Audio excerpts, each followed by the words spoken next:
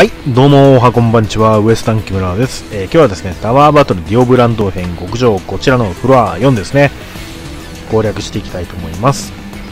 えーパーティーとステータスはご覧の通りです。では、ABT 見ていきましょう。まずはリーダー。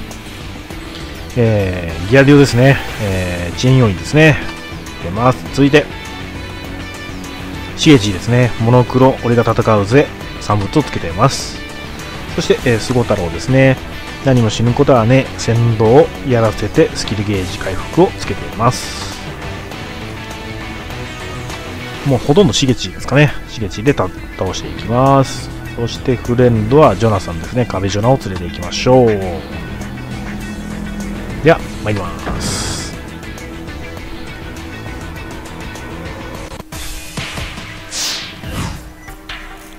さあ、いきなり CS をかましておきます。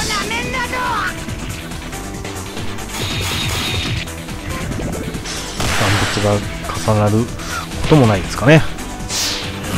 うーん、位置が悪いですね、位置が。さあ行きましょう。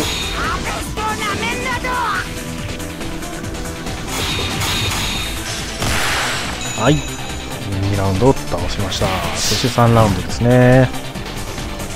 3ラウンドも、えー、これはちょっと場所が本当に悪すぎますね。ちょっとスゴ太郎に走ってもらいましょう。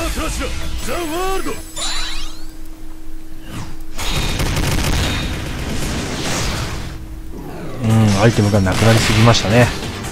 これは、これでちょっと問題ですね。いいでしょう。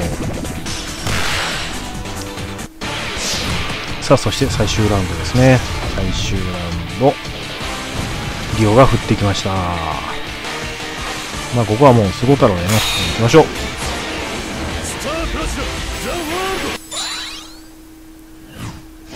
結局、スゴ太郎だけで、えー倒してしまったっていう感じですかね。今、シゲジでも倒しましたけど。ス